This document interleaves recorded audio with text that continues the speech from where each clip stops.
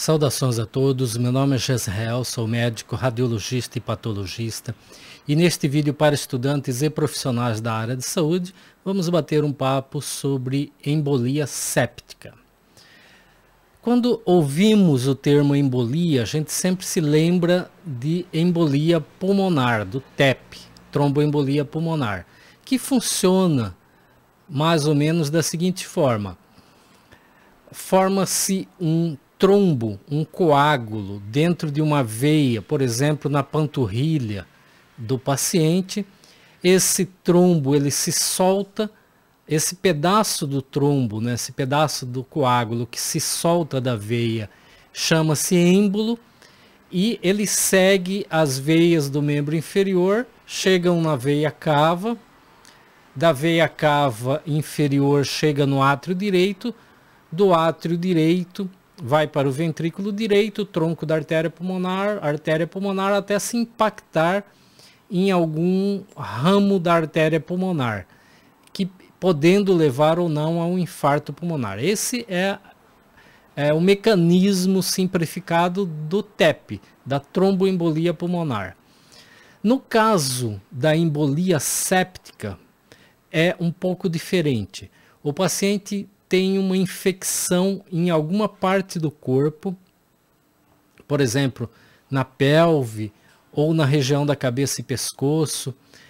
É, essa infecção, ela entra para dentro de uma veia, né, esse processo infeccioso entra para dentro de uma veia, forma-se um trombo naquela veia, um trombo composto de fibrina e material inflamatório contendo as bactérias, né, contendo agente infeccioso. Então forma-se um trombo ali, só que esse trombo é um trombo séptico, isto é, ele contém agentes infecciosos, ele contém, por exemplo, bactérias. Parte desse trombo se fragmenta e essa chuva de pequenos êmbolos sépticos, êmbolos que contêm fibrina, material inflamatório e agente infeccioso, ganha a veia cava, ou superior ou inferior, dependendo do local onde se originou, vai para o átrio direito, ventrículo direito, via de saída do ventrículo direito, artéria pulmonar e se distribui. Habitualmente, bilateralmente, né, é uma chuva de pequenos êmbolos bilaterais e cada êmbolo desse vai obstruir um pequeno vaso sanguíneo dentro da circulação pulmonar, dentro da árvore pulmonar.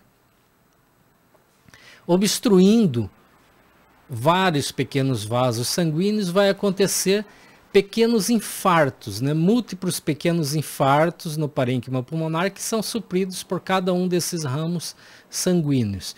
E esses infartos, além de haver a necrose isquêmica, também vai haver o processo inflamatório, porque lembra que esses êmbolos são sépticos, eles contêm bactérias, essas bactérias vão proliferar e vai fazer um processo inflamatório que vai liquefazer rapidamente o centro dessas áreas é, infartadas, né, desses infartos. Então, habitualmente a gente vai ter é, essa, essas múltiplas opacidades costumam ser periféricas, bilaterais, costumam ser mais nas regiões posteriores, periféricas dos pulmões. E formam nódulos ou opacidades e que vão ter habitualmente necrose central relativamente precoce. Então, essa é a, o resumo fisiopatológico da embolia séptica onde estaria a infecção? A infecção habitualmente pode estar em qualquer lugar do corpo, mas os locais mais frequentes são, por exemplo, a pelve, principalmente em processos de abortamento infectado. Então, os abortos infectados, as infecções pélvicas, elas costumam levar a tromboflebite séptica, isto é, a inflamação e processo infeccioso nos vasos pélvicos, no plexo venoso pélvico. E fazer uma trombofrebite e a partir daí fazer a embolia séptica. É uma das grandes causas de embolia pulmonar séptica. Outras infecções, principalmente na região da cabeça e pescoço, principalmente na região da orofaringe, infecções dentárias, também elas podem de alguma forma atingir os vasos e entrar para as jugulares internas, né, as veias jugulares internas, causar uma trombose séptica das jugulares internas e daí disseminar para a veia cava superior e fazer o trajeto até os pulmões. Então, é um outro grande foco de embolia séptica. Também os catéteres, né? muito catéter de subcrávia, catéter de hemodiálise, os vários catéteres em pacientes graves, pacientes internados em UTI. Esses catéteres podem se infeccionar, podem formar trombos sépticos na ponta desses catéteres e esses trombos podem se soltar, se fragmentar e embolizar, levando então à embolia séptica pulmonar. Uma outra grande causa é o uso de drogas injetáveis. Né? O paciente injeta a droga e é, com agulha contaminada por bactérias, então essas bactérias vão levar um processo inflamatório na veia onde ele injetou, formar um trombo séptico e a partir desse trombo séptico ele se fragmenta e faz uma chuva de êmbolos sépticos que vai atingir então, vai chegar via veia braquial, veia bracocefálica, é, chegando na veia cava superior, átrio direito, ventrículo direito, artéria pulmonar e fazer então a embolia pulmonar séptica. Então esses são exemplos clássicos de causas de embolia pulmonar séptica. Logicamente, qualquer infecção em qualquer área do corpo pode fazer embolia pulmonar séptica. Devemos nos lembrar que geralmente pacientes que apresentam embolia pulmonar séptica por, uh, por drogas injetáveis, né, por contaminação de agulha, é, eles podem desenvolver endocardite de câmara direita, endocardite da válvula tricúspide ou endocardite da válvula pulmonar, que, que são processos infecciosos graves.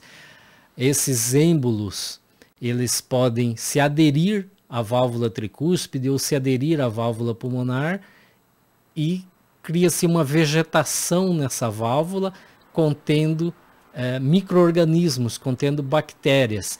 E a partir dessas válvulas eles ficam, né, essas vegetações ficam liberando aí pequenos êmbolos que vão então embolizando para o pulmão, fazendo a embolia séptica pulmonar.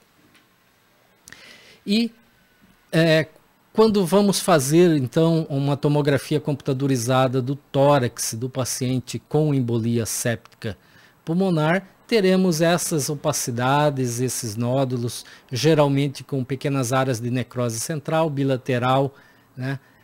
Geralmente nas regiões periféricas dos pulmões, que é bastante típico.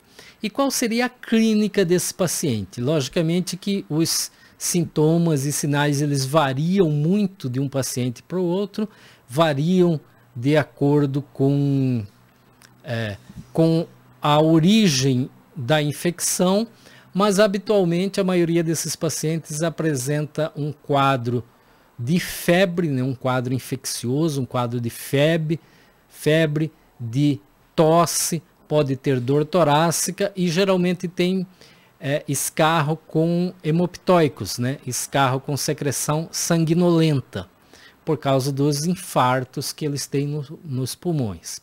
Pode ter escarro purulento também, porque lembrando que esses infartos são infectados. Então, geralmente, esse é o quadro clínico. O paciente tem uma história aguda ou subaguda, isto é, de horas, dias uh, ou poucos dias de sintomas com tosse, com febre, com escarros hemoptóicos. E no pré-exame, né, a história clínica que deve ser colhida antes de se realizar o exame, pode mostrar, pode demonstrar esses sintomas e além disso pode demonstrar a origem do quadro infeccioso. Por exemplo, se a paciente tiver uma história de um abortamento séptico recente, né, fez um abortamento, está com dor pélvica, está com secreção purulenta, é, se o paciente usa drogas injetáveis, se o paciente teve algum problema infeccioso dentário ou na região da orofaringe, né, alguma amidalite que se complicou, ou alguma infecção em qualquer outro local do corpo, geralmente infecções piogênicas, né, purulentas, é, pode ser a via de entrada para se formar a trombofebrite e posteriormente a embolia séptica. Então, são essas informações importantes de serem colhidas do paciente no pré-exame. Ok?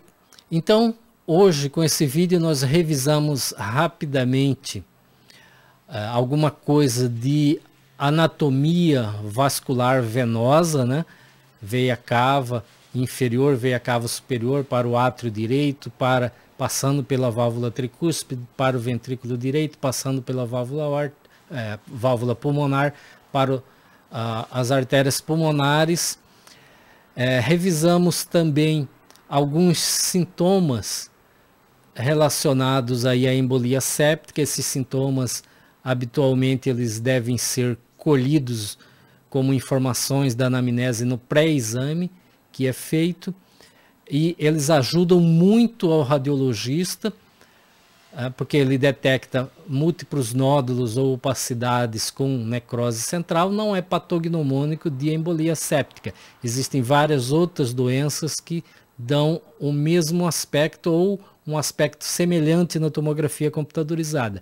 Mas se, junto com esse aspecto, o radiologista tiver as informações de que esse paciente está com poucos dias com febre, com tosse, com escarros hemoptóicos e tem uma infecção de entrada, uma porta de entrada infecciosa, ou ele usa eh, drogas injetáveis, ou ele teve infecção eh, na, na região da cabeça-pescoço, ou um aborto séptico, ou qualquer outro foco de infecção, geralmente piogênica, esse conjunto de informações vai fazer o radiologista suspeitar fortemente de que esse paciente tenha embolia séptica pulmonar e, portanto, aquelas opacidades múltiplas bilaterais com áreas de necrose central sejam decorrentes aí de embolia séptica, ok?